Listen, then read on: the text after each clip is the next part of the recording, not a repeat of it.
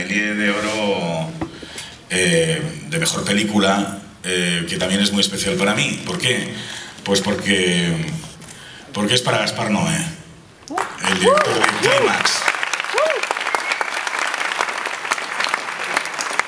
Gaspar Noé, a Gaspar Noé le conocí hace efectivamente 25 o 30 años. Él, estaba, él, él presentaba Carne y yo creo que estaba presentando precisamente el Día de la Bestia. Eh, le conocí en una discoteca, era el único que no bailaba. Y no es precisamente eso, esa oportunidad que te, que te da este festival, ¿no? de conocer grandes tipos como él. Y ha ganado con una película que os, si no la habéis visto, me imagino que sí, si no la habéis visto, vedla por favor, es una puta locura, es, es una maravilla. Eh, Gaspar es un genio. Y creo que ahora tenéis un vídeo que lo demuestra. de tener este premio Méliès de oro.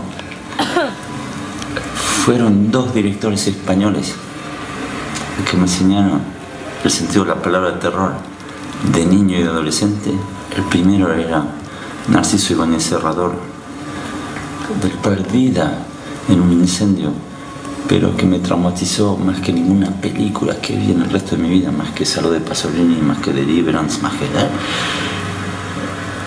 Me gustaría dedicársela a él, en todo caso el premio me gustaría dedicárselo a él.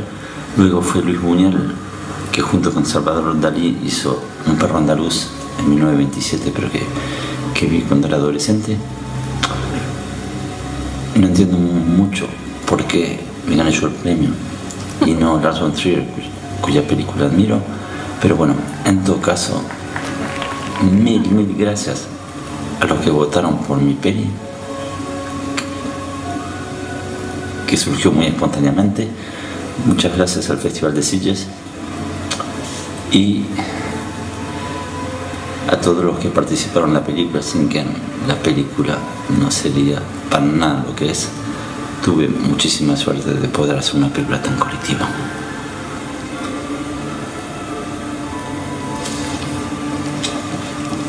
Y bueno, ahora se festeja. Ahora se festeja en serio.